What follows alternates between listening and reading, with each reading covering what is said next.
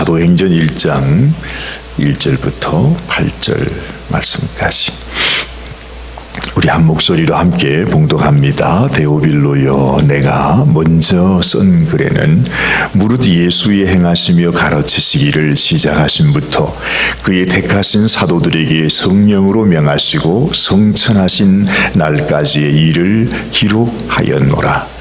해 받으신 후에 또한 저희에게 확실한 많은 증거로 친히 사심을 나타내사 40일 동안 저희에게 보이시며 하나님 나라의 일을 말씀하시니라.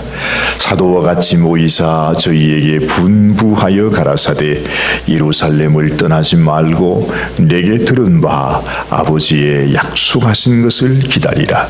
요한은 물로 세례를 베풀었으나 너희는 몇 날이 못되어 성 령으로 세례를 받으리라 하셨느니라.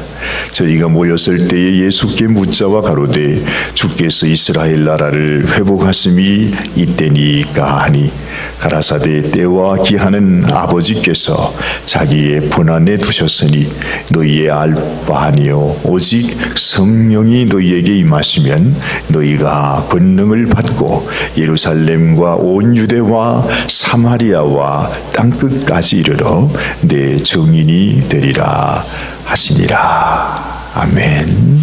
하나님께서 제 마음에 하나님께서 우리 가운데 주시고자 하시는 정말 주님이 우리에게 알려주시고자 하시는 말씀이 뭘까? 아, 만약에 어, 제가 이제 여기서 한 시간쯤 있다가 이제 하늘로 올라간다 그래요. 정말 그러면 얼마나 좋겠습니까만은 정말 예수님께서 제자들을 남겨두시고 이제는 정말 구름 타고 하늘로 이렇게 가시잖아요. 뭐 그렇다고 해서 주님이 제자들을 버려두고 떠나는 것이 아니라 우리가 사실 오해하는 것이 있는데 그건 주님께서 우리 생각대로 하늘 영광의 어, 보좌의 의자가 있어가지고 임금님이 앉는 의자 있잖아요. 여러분 드라마 보시면 임금님이 저 보좌에 앉아 계시는 그런 걸 생각하잖아요. 하늘나라에도 뭐 그런 게 있을까요? 근데 그건 우리가 상상하는 것이고 우리 주님께서 하나님의 영광 가운데 들어간다 하는 것은 어디 가서 의자에 앉아 계신다는 것이 아니라 정말 하나님의 영광 가운데로 주님이 가신다는 거예요. 그 말은 주님이 우리를 떠나시는 것이 아니라 사실은 우리 가운데 주님께서 더 우리 안에 우리의 주인으로 우리의 왕으로 우리 안에 오시는 것을 의미하는 것입니다. 예수님께서 가시면서 우리에게 성령을 보내주시겠다 말씀하지 않아요. 하나님께서 성령을 보내주신다 말씀하시기도 하고 예수님께서 내가 나의 이름으로 성령을 보내겠다 말씀하기도 하고 우리가 잘 모르면 이게 막 헷갈립니다. 아니 하나님이 보내주신다고 그랬다가 또 예수님이 보내주신다고 그래. 그 말이 무슨 말입니까? 안 헷갈리면 무슨 말이에요? 예수님이 곧 하나님이시다 이 말씀이죠. 또한 성령님이 곧 하나님이신 거예요. 성령님이 내게 오시는 것은 곧 하나님이 내게 오시는 거예요. 성령님이 내 안에 찾아오시는 것은 곧 예수님이 나를 찾아오시는 거라 이 말이죠. 그래서 정말 우리 주님께서 하나님께서 우리 성령님께서 우리 인생들에게 자기 제자들에게 꼭 하시고 싶어 하셨던 그 말씀이 뭘까를 생각해 보니까 바로 오늘 이 말씀이겠구나 하는 생각이 드는 것입니다. 어쨌든 인간이 생각하기에 예수님께서 어쨌든 떠나 가시는 것으로 이렇게 나타나잖아요. 주님이 가시면서 마지막으로 제자들에게 당부한 말씀이 내가 너희에게 성령을 보내주실 것인데 그 성령을 받기까지 떠나지 말고 뭐 다른 일 하려고 생각하지 말고 그냥 성령님을 모시기까지 성령이 임하시기까지 성령으로 인해서 너희가 권능을 받게 될 때까지 기다리라 기다리라 말씀하세요. 그 말씀을 우리가 곰곰이 생각해 보면 아 우리 심령에 성령님이 찾아오시고 성령님을 모시고 그 성령의 음성을 듣고 성령의 감동을 따라 사는 것이 예수 믿는 사람의 삶이구나 하는 걸 알게 되는 것입니다. 만약에 내 마음속에 성령님께서 말씀해 주지 않고 성령님이 인도해 주지 않는 인생이라면 그 사람은 하나님과 관계가 없는 사람이에요. 우리가 교회 나와서 내가 하나님 위해서 뭘 무슨 이런 일도 하고 예배도 드리고 뭐 온갖 일들을 많이 하잖아요. 그런데 성령님이 나의 주인 되어서 나를 인도하시는 것이 아니면 그 모든 것들이 사실은 하나님하고 관계가 없다니까요. 얼마나 중요한 것입니까? 그래서 오늘 이 아침에 우리가 하나님께 기도할 때도 왜 기도하는 것입니까? 성령 하나님, 날 찾아오신 주님, 주님이 내게 보내주신 성령님, 내가 당신의 인도함을 받기를 원합니다. 내가 무슨 말을 한마디 할 때도 성령님 이것이 당신의 말이 되기를 원합니다. 내가 무슨 일을 할 때도 성령님 당신이 기뻐하는 일이 되기를 원합니다. 모든 일 가운데 성령님을 인정하고 성령님이 나의 주인인 것을 알고 그 성령의 감동을 따라서 성령이 기뻐하시는 일을 따라 살아가는 것이 성도의 삶이라는 거죠. 우리가 예수님 믿는다 하면서도 사실은 내가 말하는 것이나 행하는 것이나 생각하는 것이나 다 내 마음 내 뜻대로 한다면 그게 무슨 우리가 하나님의 사람이 되겠어요? 전혀 관계없다는 것입니다. 그러므로 여러분 내 마음속에 늘 나와 함께 계시는 성령님을 인식하면서 오늘도 성령의 인도함을 따라 순종하며 그 감동을 따라 살아가기 원합니다. 그러면 자연히 하나님이 원하시는 열매가 우리를 통해 나타나지 않겠습니까? 주님의 복음을 알고 하나님의 은혜를 받고 난 뒤에 성령께서 그 마음 속에 이렇게 하나님이 주신 은혜, 네가 깨달은 그 복음을 전해주라 했던 한 사람이 있었습니다. 그 사람이 바로 오늘 이 사도행전을 기록한 누가라고 하는 사람이잖아요. 이 누가는 예수님의 열두 제자가 아니었습니다. 그렇지만 어찌했든 이 누가의 심령 속에 하나님이 자기에게 주신 은혜, 그 복음이 다 마음에 남아 있어서 내가 이걸 어찌하든지 좀 전해줘야 되는데 오늘 이 말씀이 시작되는데 보면 데오빌로요라고 하는 사람 이름이 나오지요. 이 누가가 이 사도행전을 기록하기 전에 기록했던 성경이 무슨 복음이죠? 그렇죠. 누가복음이죠. 그래요. 이 누가복음을 기록해 가지고서 이 데오빌로라고 하는 사람에게 예수님을 소개해 주고 싶었어요. 그래서 누가복음을 기록했습니다. 그래 이제 예수님 얘기를 다 하고 난 다음에 이제는 예수님이 부활하시고 성천하신 그 이후에 또 어떤 일이 있었는지를 이제 알려주고 싶은 거예요. 그래서 이 사람이 그 데오빌로라고 하는 사람에게 아마 이 사람이 굉장히 높은 지위에 있었던 사람인가 봐. 그래서 누가복음을 시작할 때는 데오빌로 각하여 이렇게 시작해요. 근데 이 사람이 이제 이 누가의 편지를 통해서 예수님을 믿게 된것 같아요. 어쨌든 그 이제 보고만 해서 이렇게 서로 마음을 나누는 그런 형제가 되었는가 봐요. 그래서 이 사도행전이 시작할 때는 데오빌로 각하여 이렇지 않고 데오빌로 여 이 말은 뭡니까? 데오빌로 형제여 이런 의미죠.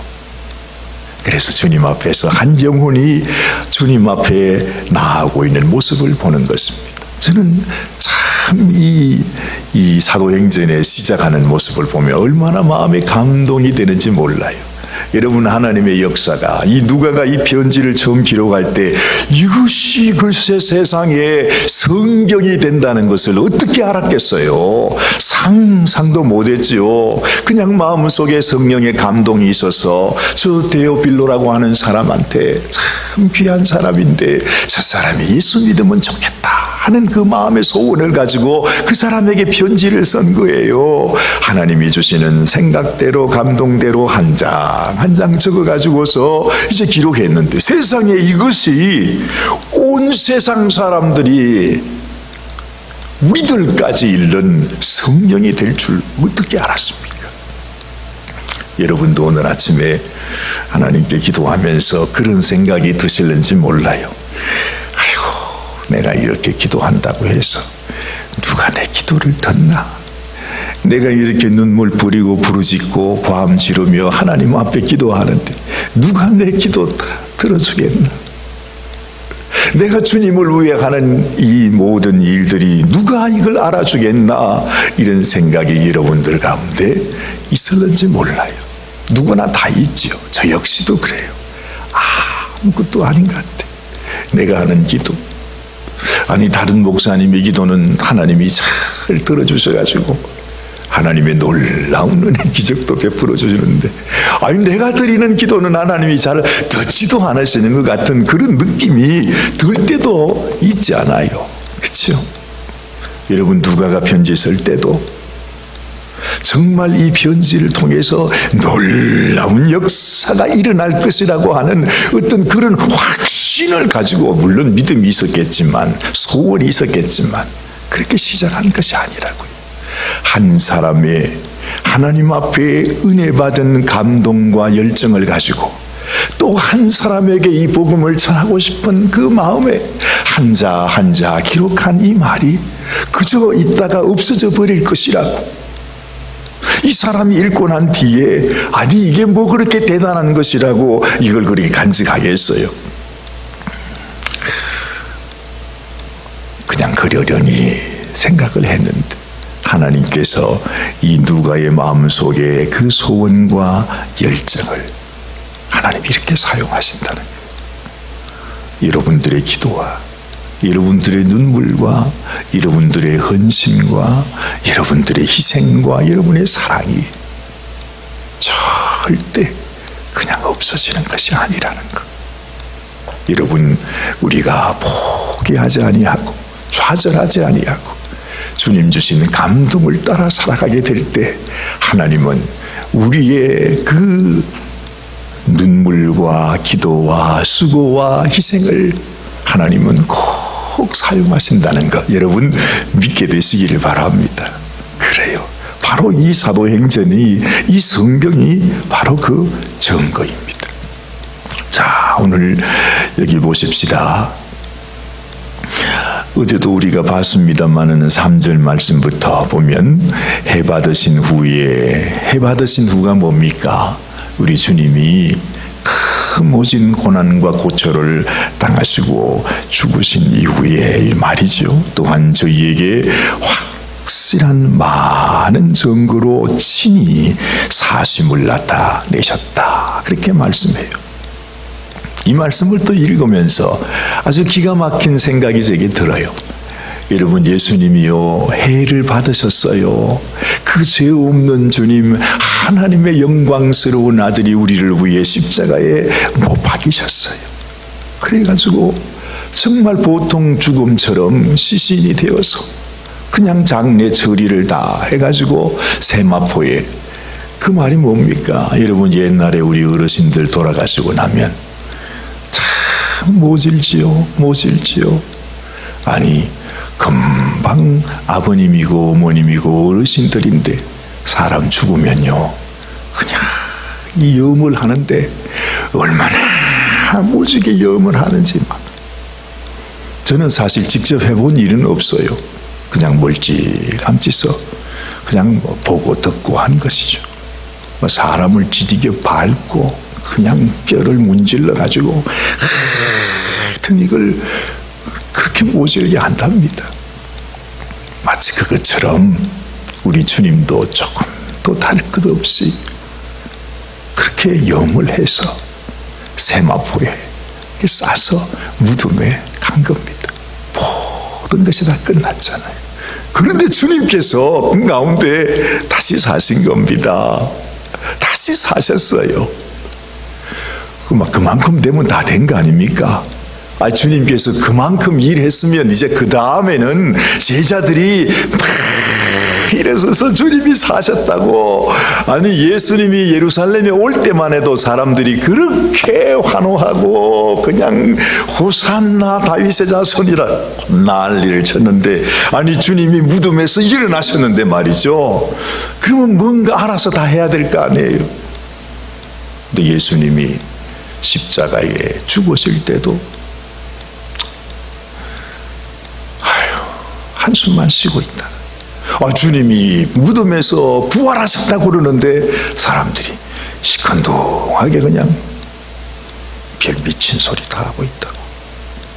전혀 이게 반응이 완전히 이게 180도 거꾸로 나타나는 거죠. 그래서 예수님이 죽으시고 부활하셨는데 아무도 예수님을 홍보해 주는 사람이 없어. 누가 예수님이 날 위해 죽으시고 날 위해 부활하셨다고 그렇게 말해주는 사람이 한 명도 없다는 것입니다.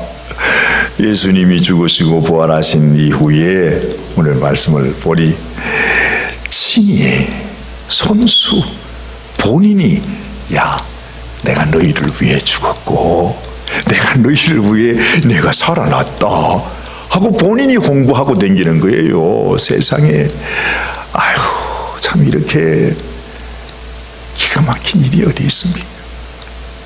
제가 생각해 보면 예수님도 참 마음이 좀 처량하셨겠다 싶어요. 아니 그뭐 온갖 것 다 주고 생명 다 주고 그 모든 걸 다 끝내고 무덤에서 살아났는데 아무도 그냥 빛난 사람도 없고 즐거워하는 사람도 없고 고맙다고 하는 사람도 없고 아무리 얘기해도 보여줘서 뭐 만져보라 뭐 이렇게 해도요 사람들이 감동이 없습니다. 물론 나중에는 스님을 다 알게 되죠. 우리 주님께서 부활하신 것 여러분 왜 왜 제자들과 사람들 사이에 그 부활에 대한 감동이 없었을까요?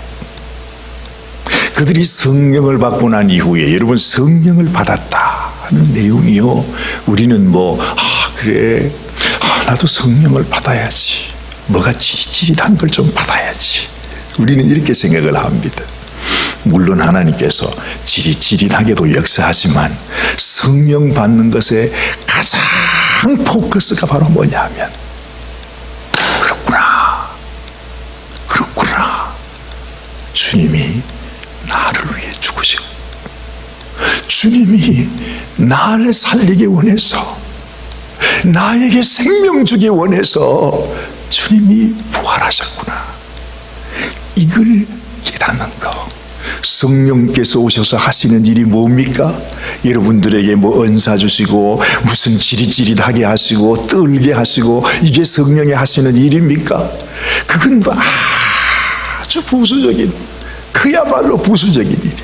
성령이 하시는 일은 예수님이 왜 죽었는지, 예수님이 왜 부활하셨는지를 깨닫게 하시는 거잖아요. 그래서 이 제자들이 성령님을 성령님이 임하게 되니까. 아 그렇구나. 주님이 나를 위해 죽으셨구나. 주님이 나를 위해 부활하셨구나 하는 사실을 번쩍하면서 알게 되는 그 순간 여러분 그렇게 연약하고 부족했던 제자들이요. 갑자기 완전히 180도 딴 사람으로 변해버리는 것입니다.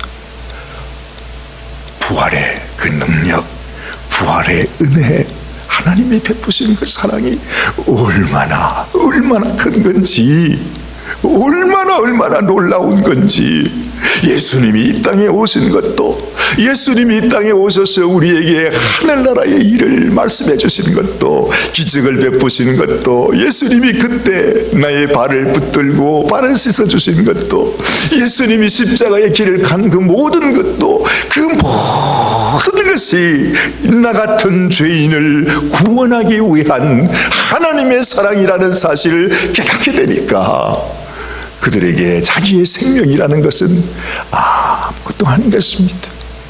하나님 내 생명이 열 개라도 백 개라도 주님을 위해 나의 생명 드리고 싶습니다 하는 마음이 그들에게 있지 않겠어요. 그러니 그들이 하나같이 다 자신의 생명을 주님 앞에 복음을 위해 드리게 되었다고 하는 사실이죠.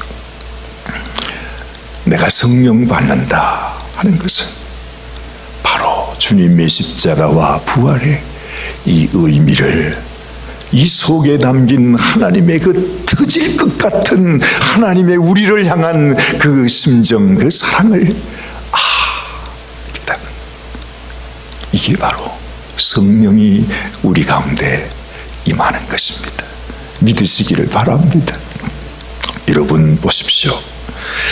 정말 이 부활이 이 부활이요 예수님께서 우리를 위해 이 땅에 오신 예수님께서 바로 하나님이셨다 하는 것을 보여주는 거잖아요. 주님이 무덤에서 다 살아나신 것은 예수님이 너희들이 아는 옛날 예수가 아니라 바로 그 예수님이 우리와 함께 했던 나를 위해 죽으신 그 예수님이 바로 하나님이시라고 하는 것을 증명해 주는 것입니다. 이 부활은 바로 모든 죄와 사망의 권세가 끝났다는 걸 증명하는 것입니다. 누가 뭐래도 마귀는 끝났다. 마귀의 권세, 사망 권세, 죄의 권세, 이 세상의 저주의 권세가 완전히 끝났다고 하는 사실을 우리에게 보여주는 사건이죠. 그래서 우리가 늘 이 마귀를 제압하기 위해서 가장 중요한 것이 옛날 왜 영화나 뭐 이런 거 보면 십자가 가지고 이렇게 하잖아요. 사실은 그거 아니에요. 마귀를 제압하고 마귀를 멸하는 마스터 키는 사실은 십자가가 아니라 부활이죠. 부활이죠. 만약에 주님의 부활이 없다면 우리 주님의 십자가는 세상에서 가장 슬프고 슬픈 비극적인 사건밖에 그 이상도 그 이하도 아무것도 아니에요. 글쎄 하나님의 아들이 이 땅에 오셔서 십자가에 죽었다. 아니 내가 죽는 것만 해도 슬프고 외롭고 힘들고 어려운데 하나님의 아들이신 예수님이 십자가에 죽었다 말하면 그게 얼마나 얼마나 슬픈 일입니까? 그야말로 죽음이라고 하는 것은 이 마귀가 하는 일인데 마귀로 인해서 예수님이 죽임을 당했다. 세상에 이보다도 더 비극적인 일이 어디에 있습니까? 그래서 주님이 다시 사셨다. 부활하셨다. 이 부활이야말로 여러분 우리 인생의 모든 마귀와 저주의 권세를 멸하고 결박하는 하나님의 능력인 것을 여러분 믿게 되시기를 바랍니다. 아, 그 요즘 뭐 요즘이 아니지만 그 동안에 그 독일에 서는요. 얼마 전에 제가 신문 기사를 봤더니 요 근래에도 프랑크푸르트라고 하는 큰 도시가 있잖아요. 근데 그 도시가 옛날에 2차 대전 때는 어 거기가 이제 뭐 무기 공장도 많고 또 무슨 뭐 그런 것들을 연구하는 그런 시설이 많아서 2차 대전 때 연합군들이 그냥 이 독일에게 얼마나 이빨을 갈았습니까?